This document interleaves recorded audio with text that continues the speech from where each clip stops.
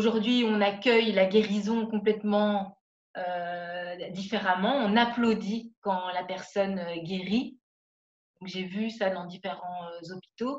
Et puis aussi, cette, voilà, de se rendre compte que vraiment la mort, elle fait partie de, de, cette vie aussi. Quoi. Je veux dire, il y a vraiment une prise de conscience, je pense. Alors oui, on découvre, on découvre, enfin, quand je dis on, c'est euh, à la fois la population, c'est à la fois certains soignants qui sont peut-être moins habitués d'une certaine manière à, rencontrer euh, des, patients qui décèdent, parce qu'il y a des services de spécialité où on ne décède pas beaucoup, et heureusement. Euh, là, finalement, il y a une prise de conscience générale, on ne sait pas ce qu'elle donnera plus tard, mais en tout cas, il y a une, espèce de, de redécouverte que tout n'est qu'éphémère et qu'on a intérêt, effectivement, peut-être à vivre les choses avec un peu plus d'intensité. Euh, ça, c'est vraiment une, question assez profonde dont on, on, verra certainement les effets euh, de, cette crise un peu plus tard hein, pour voir si ça laisse des traces ou pas. Euh, c'est pas sûr d'ailleurs. Euh, on sait très bien les capacités de, chacun à refouler cette question ô combien importante que, qu'est celle de notre mortalité. Mais en, effet, en tout cas, cette question se pose à la fois en termes d'interrogation personnelle, à la fois en termes de pratique de tous les jours, mais aussi même euh, sur des questions, euh, là pour le coup, très très techniques, pratiques, euh, c'est-à-dire comment on fait combien de temps on garde un corps dans une chambre, comment on organise des visites lorsque quelqu'un est décédé, euh, etc. Enfin, il y, a des questions que découvrent beaucoup de professionnels qui sont habituellement plutôt gérés par des services comme la, la réanimation, bien sûr, les soins palliatifs, l'oncologie.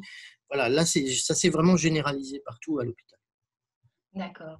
Donc, en fait, euh, euh, on se rend compte que notre vision donc, des choses euh, ont, quelque part changé et on se rend compte de l'importance. Et là, maintenant, on va passer à, la deuxième étape donc, de la psychologie en fait, du confinement. Donc, pour les personnes en fait, qui sont en confinement, qui ne sont pas forcément malades, qui sont en famille ou seules, euh, là, on va plus parler des personnes quand même qui sont euh, en couple ou en famille. Donc, il y a eu euh, donc plus de 48%, enfin une augmentation de 48% des violences intrafamiliales. comment pouvez-vous expliquer ce, voilà, cette augmentation Est-ce qu'une personne non violente peut devenir violente en confinement? C'est difficile à, énoncer, mais disons qu'on peut en tout cas trouver des causes assez simples euh, à ce phénomène. Hein. c'est que habituellement, euh, les, personnes qui vivent sous un même toit euh, se séparent, se séparent dans la journée, j'entends. L'un va au travail, voire les deux, les enfants vont à l'école. Il y a des, temps de manque, des temps d'absence qui fonctionnent certainement pour certains comme des, bulles d'oxygène, comme des possibilités de prendre un peu de recul.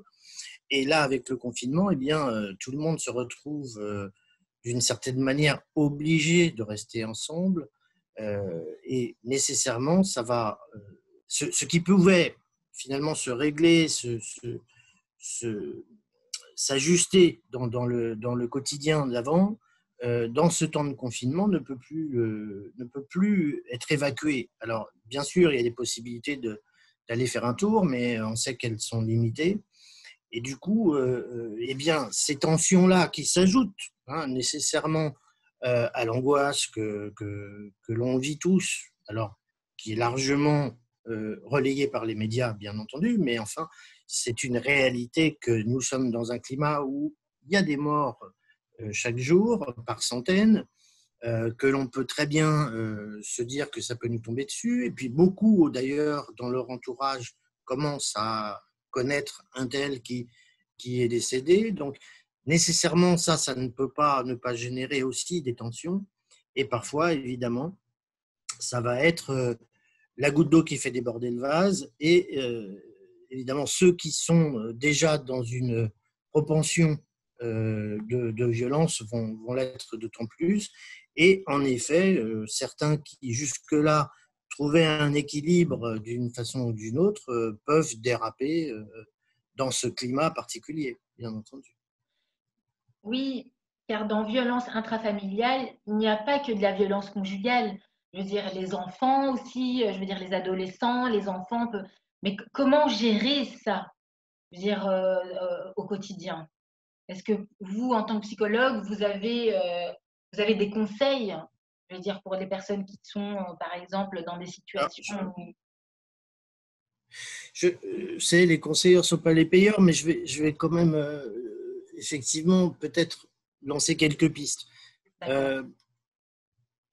Euh, essayer de mimer d'une certaine manière la vie d'avant, c'est-à-dire ce, ce, besoin que l'on a tous dans une famille, même quand on s'aime beaucoup, d'avoir un temps euh, intime, d'avoir de l'intimité. Alors, bien sûr que pour certains, c'est très difficile lorsqu'on est dans un tout petit appartement. Euh, bien entendu. Mais il faut trouver des moyens, si possible, dans la mesure du possible, euh, de se mettre en retrait. C'est-à-dire justement de ne pas être complètement dans cette, espèce de fusion euh, imposée et de pouvoir se ressourcer un peu avec soi-même. Alors quand je dis avec soi-même, c'est les enfants euh, qui puissent jouer à la console, qui puissent être en contact avec leurs potes sur, sur Internet, sur les, les réseaux. Effectivement, habituellement, on leur fait la guerre aux enfants pour, pour limiter le temps d'écran de, et, c'est naturel. Peut-être que là, c'est pas forcément le temps d'avoir autant de rigidité qu'on peut avoir d'habitude, c'est-à-dire euh, vis-à-vis des enfants, en tout cas, essayer d'être un peu plus cool, tout en précisant que c'est dans ce cadre-là, que c'est dans cette période-là un peu particulière qu'on va lever le pied, y compris sur l'exigence par rapport à l'école, etc. Parce que quoi qu'on en dise, euh, travailler à la maison, euh, ça n'est pas travailler à l'école et qu'on ne peut pas avoir euh, en toute bonne foi les mêmes exigences vis-à-vis des enfants que, que, d'habitude. Ça, c'est une chose importante pour éviter les montées de tension, parce que chacun, euh, j'ai envie de dire, fait ce qu'il peut dans cette période-là, et que nous n'avons pas effectivement euh, toutes les, les, les, potentialités que nous avons d'habitude pour exercer différentes postures sociales, par exemple. Hein. C'est-à-dire ce qui nous fait du bien quand on, quand dans la vie de tous les jours. Hein. C'est euh, on part en tant que mari, papa ou euh, maman, euh, je, ne sais quoi, ou en tant qu'enfant. On arrive sur le lieu de travail ou à l'école, on est quelqu'un d'autre, etc. Et c'est ça qui est, rendu difficile justement avec ce confinement, c'est qu'on est obligé de rester avec une identité et une seule d'une certaine manière. Et donc il faut pouvoir trouver des, des arrangements, des subterfuges comme d'ailleurs le font très bien les adultes hein, avec les apéros, euh, euh, les apéros, etc. C'est qu'ils trouvent des ruses finalement pour continuer, euh, pour continuer à vivre à peu près comme d'habitude, même si on sait que c'est pas comme d'habitude. Parce qu'évidemment, un apéro de cette manière-là, c'est pas la même chose. D'ailleurs, si on si on n'a pas de bouteille, eh bien, on ne boit pas. Vous voyez, c'est pas du tout pareil. Certains qui vont à des apéros sans bouteille. Donc là, bah, il en faut une. C'est un petit exemple. Oui, est-ce que pour vous, vous avez l'impression que, euh, est-ce que vous pensez que vivre le confinement seul, ou est-ce que c'est plus facile de vivre un confinement seul, par exemple? C'est la, solitude, euh, c'est une histoire de choix ou de non-choix. C'est-à-dire qu'on ne vit pas pareil selon qu'on a choisi d'être seul ou selon que ça nous a imposé. Donc ça, c'est évident. Il y a des gens qui euh, sont très bien seuls, qui ont une capacité à vivre seuls, euh, qui, euh, effectivement, pour lesquels, finalement, le, confinement ne change pas grand-chose. et puis, vous avez effectivement des gens qui ne peuvent pas supporter. Hein. C'est ce qu'on appelle la capacité d'être seul en psychanalyse. Eh bien, vous avez des gens qui sont dans l'incapacité d'être seuls, ou en tout cas qui se sentent incapables. Ça ne veut pas dire qu'ils le sont. Euh, et là, euh, bah, dans ce cas de figure que, l'on traverse, vous avez toutes les situations possibles. Vous avez des gens qui se sont retrouvés coincés quelque part, euh, qui n'ont pas pu rejoindre leurs proches. voilà, vous, avez plein de cas de figure. Donc, dans certains cas, ça ne sera pas un problème parce que l'expérience de la vie, les, les choix qu'on a faits font que finalement, on traverse cette solitude sans problème. Et inversement, vous avez des, gens qui auraient certainement préféré être seuls ou être avec quelqu'un d'autre. Hein. Parfois, mmh il ne faut pas se cacher la, face. Donc, évidemment que j'ai envie de dire qu'on est, on est dans le cas par cas. D'accord, d'accord. après, il y a quand même ce sentiment d'angoisse et de panique qui peut, qui peut subvenir à certains moments. vous avez expliqué aussi que donc, les émotions euh, sont décuplés, euh, on peut être en dents de scie. comment faire pour pas sombrer, je veux dire, à, cette angoisse euh, de se dire que le monde ne sera plus comme on l'a connu, quoi? De pouvoir sortir, aller au restaurant, où il y a même eu des moments de personnes qui se sont retrouvées dans, dans, une période d'angoisse où elles se sont dit «Ah, je ne pourrai plus jamais sortir. Vous voyez ce que je veux dire? Il y a la psyché quand même qui nous joue des tours. Je pense que la, manière dont cette crise agit en chacun dépend du potentiel que, que nous avons chacun à être angoissé.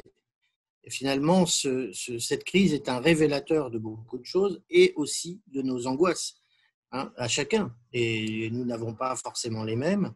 Et bien entendu que là, pour le coup, euh, se demander finalement euh, ce qui va se passer s'en inquiéter, c'est-à-dire supporter, traverser cette euh, incertitude, euh, va demander effectivement d'avoir un minimum euh, de tranquillité intérieure pour pouvoir se traverser sans trop de dégâts. Si nous sommes à la base extrêmement anxieux, évidemment que ces questions vont prendre une dimension encore plus importante. Euh, donc, finalement, tout dépend de, l'état dans lequel nous étions avant la crise, y compris vis-à-vis de la mort, bien entendu, puisque cette question du, lendemain, elle, renvoie à ça, au fond. Donc, bien entendu que entre cette, question-là et les questions qu'on a, il y a tous les prétextes possibles hein, sur euh, est-ce qu'on va partir en vacances, etc. Et, et, et fort heureusement, on peut se poser des questions aussi futile d'une certaine manière, parce que euh, celle de la mort, euh, on, aurait vite fait le tour hein, d'une certaine manière, parce qu'on n'a aucune réponse. Là, pour le coup, l'incertitude, à moins de puiser dans des, dans des, des sphères spirituelles ou religieuses, mais sinon, euh, bon, voilà, c'est vite réglé. mais en revanche, effectivement, pour ceux qui, qui ont énormément de mal à, à vivre euh, cette incertitude de comment vont se passer les choses sur euh, effectivement est-ce qu'on va aller au restaurant Est-ce qu'on euh, est va pouvoir se, faire la bise, etc. Enfin, des choses du quotidien, en principe, ne, ne, doivent pas nous mettre dans une paralysie totale. Voilà, si c'est le cas, eh bien, probablement qu'il faudra aller consulter, aller creuser, ce qui, dans sa propre euh, euh, difficulté, euh, est, personnelle, j'ai envie de dire. Voilà, pas une histoire de confinement et pas une histoire de déconfinement, mais quelque chose que c'est venu toucher en soi. En dehors de l'hôpital, est-ce que vous recevez encore chez vous ou à votre cabinet? Là, les activités actuellement sont, sont pour la plupart euh, mises en suspens. Euh, vous avez. Euh, alors, quand, quand, en tout cas je discute avec des collègues, parce que c'est toujours bien d'avoir une vie un peu plus large que la sienne, vous avez un, certain nombre de personnes qui ont joué le jeu d'une certaine manière de, de, des téléconsultations, et puis d'autres qui ne s'y retrouvent pas, d'autres qui ne voient pas ça euh, comme, ça, comme, comme une évidence, y compris chez les psys d'ailleurs, hein, qui eux-mêmes euh, ne sont pas tous unanimes sur ce, cette transposition d'une relation réelle à une relation virtuelle. Donc, en, effet, pour l'instant, là aussi, c'est le statu quo, sans parler de, de, de l'inquiétude, et là qui, qui est beaucoup plus général que les psys, mais, mais qui les touche aussi en libéral, c'est-à-dire est-ce qu'ils vont pouvoir reprendre une activité? Ça, c'est très concret pour le Donc il y a la question économique aussi. Donc il y a aussi le souci évidemment de, de, pouvoir reprendre le, travail en cours avec les personnes que l'on reçoit, bien entendu. Hein. C'est pas parce qu'on est dans cette situation-là que, que, les patients sont oubliés par les psys, bien au contraire. Mais parfois, pour diverses raisons, c'est remis à demain et ce demain est incertain. Même si on nous dit, euh, effectivement, on nous promet un déconfinement, il reste à voir. Euh, concrètement, euh, on ne connaît aucune modalité de cela. Donc on en vient au déconfinement. Donc ça c'est la, troisième partie en fait de cette interview. donc c'est normalement bientôt le 11 mai comme euh, le président euh, donc euh, Macron nous a confié à sa dernière allocution. que représente aujourd'hui, selon vous, psychologiquement, le déconfinement pour les Français? Quelles sensations ont aujourd'hui les personnes confinées au déconfinement? Alors, c'est difficile de, parler pour tout le monde. Hein moi, ce que je perçois d'une façon un peu, générale et notamment en forme de, réelles questions, voire de colère, ce, ce que je perçois, c'est une ambivalence finalement. C'est-à-dire qu'il y a à la fois euh, la position de la personne euh, emprisonnée qui attend euh, l'heure de sa sortie avec impatience il y a quelque chose de ça pour beaucoup, hein, c'est-à-dire que vraiment les gens se sont mis dans une position d'enfermement, c'est-à-dire de, position d'enfermement, insupportable évidemment, et du coup le vivre comme ça bah, fait regarder le déconfinement comme une sortie de prison. Donc ça c'est c'est un premier aspect. Euh, d'autres sont beaucoup plus euh, beaucoup plus ambivalents, beaucoup plus sur le versant anxieux de savoir qu'est-ce qui va se passer, attention, confinement, d'accord, mais est-ce que c'est pas trop tôt, etc. Bah, évidemment, parce que euh, on, a bien vu qu'une information en suivait une autre qui venait la contredire.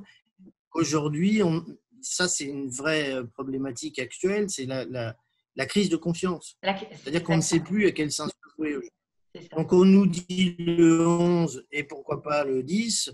Euh, et du coup, est-ce que effectivement c'est raisonnable? De faire revenir les enfants à l'école Ce sont des vraies questions. Toutes les questions. Donc, euh, vous voyez qu'il y a, d'une part euh, tout, tout, tout l'aspect imaginaire de, de la sortie, de la liberté.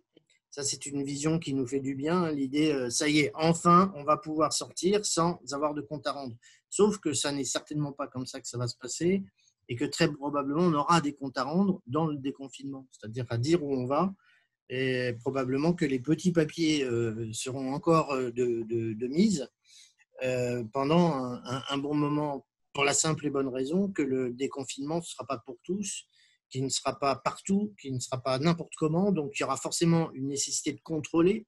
Donc cette image, cette idée très très excitante d'une liberté comme euh, finalement, euh, comme si finalement on se retrouvait à nouveau dans les années 70. Vous voyez, c'est-à-dire, ça y est, hop, enfin on sort. Euh, non, je pense que c'est un fantasme plus qu'autre chose. En revanche, évidemment, il y aura un peu plus de souplesse, la possibilité quand même de, de, respirer un peu plus, mais attention aux désillusions, attention à constater que finalement, ce qu'on rêve, ce dont on rêve plutôt, ne correspondra pas forcément à, ce qu'on va vivre.